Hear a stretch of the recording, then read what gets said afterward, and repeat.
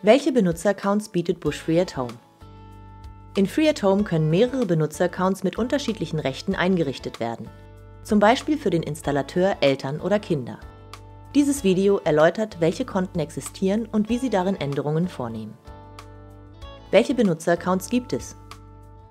Free at Home unterscheidet zwischen vier verschiedenen Nutzungsarten. Einem User-Account im Beobachtungsmodus können verschiedene Bedienoptionen freigegeben werden. Je nach Account können diese auch unterschiedlich sein. Im Bedienungsmodus können alle Funktionen des Systems gesteuert und verändert, aber nicht konfiguriert und angelegt werden. Im Konfigurationsmodus können alle Systemmodule konfiguriert und gesteuert werden, insbesondere auch Szenen und Zeitprogramme. Der Installationsmodus ist zur Konfiguration des Systems durch den Installateur gedacht. Wie wird ein neuer Benutzer angelegt? Einen neuen Benutzer können Sie einrichten, sobald Sie im Konfigurationsmodus eingeloggt sind. Loggen Sie sich ein und wählen Sie dann die Option Konfiguration. Anschließend klicken Sie rechts unten auf Einstellungen.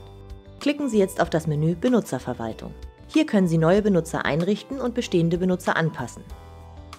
Klicken Sie auf Benutzer anlegen.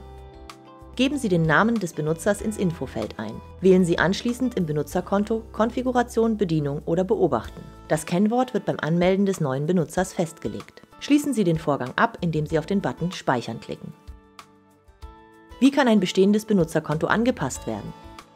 Sie können auch Anpassungen bei bestehenden Benutzern vornehmen.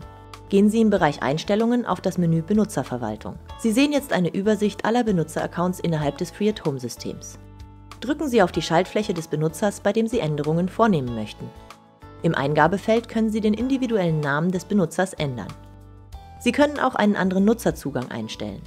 Das Kennwort des Benutzers wird zurückgesetzt, indem Sie auf Passwort ändern klicken. Alle Änderungen werden gespeichert, sobald Sie rechts unten auf Speichern klicken. Wie wird ein bestehender Benutzer gelöscht?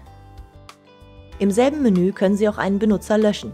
Selektieren Sie dazu den entsprechenden Benutzer und drücken Sie anschließend auf den Mülleimer oben rechts im Bildschirm. Bestätigen Sie Ihre Änderung, indem Sie danach auf das Häkchen klicken. Der Benutzer ist jetzt gelöscht. Wie wird eine Funktion einem Benutzerkonto mit Bedienungsrechten zugeordnet?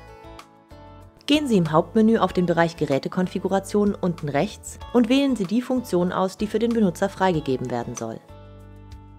Klicken Sie auf das Schloss-Icon und wählen den Benutzer, dem die Funktion zugeordnet werden soll.